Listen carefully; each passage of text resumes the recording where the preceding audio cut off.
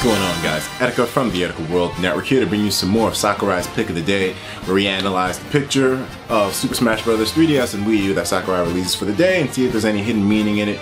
Every so often we get something good. Now, um, I apologize for having this one come out so late today. I had a really full schedule today. It's kind of messing around with a lot of stuff, you know, so um, I apologize. I'll try to get these out earlier if you guys really want me to. But I kind of like this time because in California, when I post these, it's around 9 p.m. and here it's 12. So, I mean, in New York it's 12, California it's 9. And New Yorkers, we're known to never sleep. So, I think it's a cool schedule to deal with. But, um, anyways, we have the picture of the day today, and I did not look at it yet because you guys know I'm saving my first reaction always to be shared on camera with you dudes, just in case it's something sick. And um, by the way, some of you guys are also mentioning to me that they were streaming footage of the tournaments today by Nintendo, but I knew that there was not really going to be anything important revealed there. Sakurai, Daddy Sakurai would have told us, you know, in advance if there was going to be something crazy revealed, like a new character, but nothing like that happened, so um, I didn't really see it as a priority really to report on too much. I mean, the game footage is cool and all, but right now, I don't think the footage, just watching it, is going to be enough for me. I actually want to get my ass in there, but anyways, let's take a look at the picture of the day for today. Pic of the day. We Okay, we got to refresh the page because for some reason, the picture didn't load. Oh, okay. Pic of the day for the first time, wait, let me just it so this way it loads. Because, you know, there might be some other pictures that Sakurai puts in the comments section. Finally, here we go. Okay, so pic of the day. For the first time ever, I present to you the main menu for the 3DS version! The icons are even animated. The design concept may look similar if you played other games I've worked on, but we had a hard time making this one because... because the bottom screen displays pictures... What? Wait a minute, wait a minute. But we had a hard time making this one because the bottom screen displays pictures matching each mode. This was quite a task for the user interface designers, but they made it happen. Kudos to them. You can tap the screen to look up additional info on like how to play and compete with diagrams. Complete with diagrams. Whoa, what?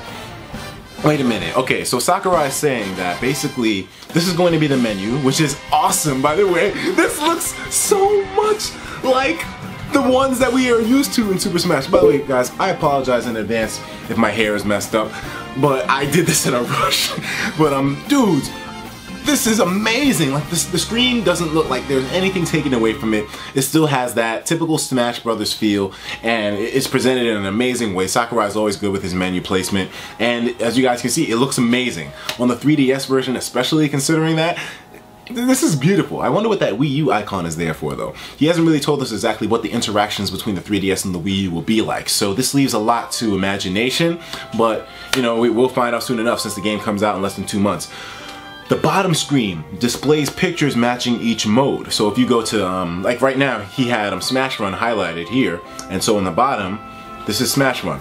I've got five minutes. You've got five minutes. Boost your stats and then take on three CPU rivals in a final battle. Okay, so that's what it is. But he said the bottom screen di displays pictures matching each mode. This was quite a task for the user interface designers, but they made it happen. How would that be difficult? All you had to do is just display the picture on the bottom in correlation to what the mode is. I mean, like if you choose um, story mode, it shows kind of like everyone standing together. It's a picture, you know? How could a picture be difficult to render on the bottom screen along with the menu at the top? It doesn't make any sense to me, but I mean, hey, I guess it took a lot of effort.